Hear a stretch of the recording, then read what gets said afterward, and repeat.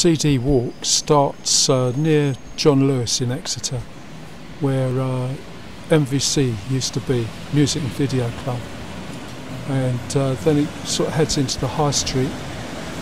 Uh, Boots used to sell vinyl quite a long time ago. I, I bought some Bobby Womack there, that's the first time I found that.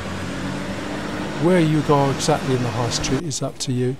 Starbucks used to be our price, and um, there's HMV, that's in Princesshay. The question is how much space is still needed for retail of music. Virgin used to be where HMV is also. So moving down towards Gandy Street, you go past a Costa, and uh, Martian Records used to be at the other end, and uh, there's the Ram, and Harlequins is a, a shopping mall about to be demolished for student accommodation.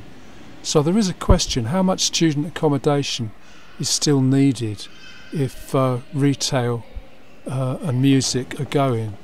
Um, W.H. Smith, they used to have a lot of CDs, and uh, this is where Opus Classical used to be. They still have a website.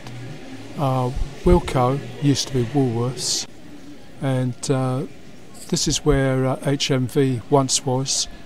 And going down the hill into Fore Street, Rooster Records, still selling vinyl, and uh, just a few CDs. Uh, there's the rest of Fore Street.